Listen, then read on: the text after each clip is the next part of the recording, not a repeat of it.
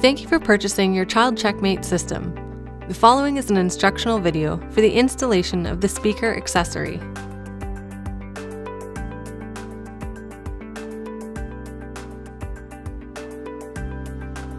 Begin by finding a spot to mount the speaker, preferably above and to the left of the driver on the wall of the bus.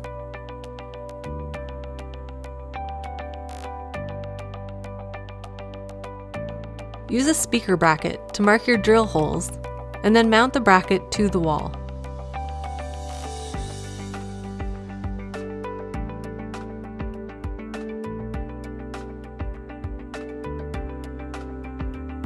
Next, use a 3 8 drill bit to drill a hole for the speaker wire. The hole should be about an inch and a half below your mounting bracket. Please note that in this example, the holes are already drilled.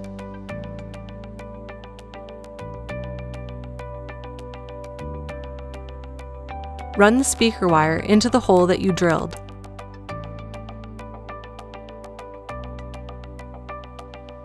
Mount the speaker to the bracket.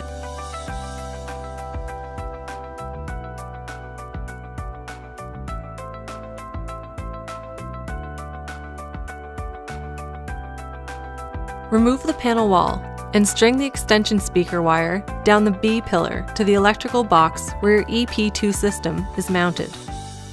Connect the extension wire to the speaker wire.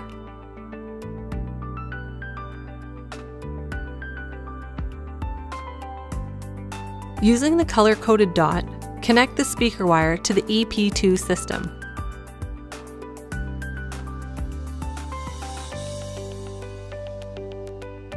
At this point, if you're going to install the Child Check-Mate motion sensor accessory, leave this panel off and refer to the installation video of the Child Check-Mate motion sensor accessory.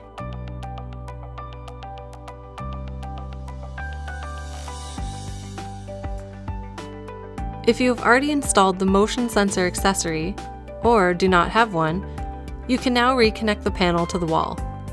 This concludes the installation of the speaker accessory. Thank you for watching this Child Check-Mate installation video.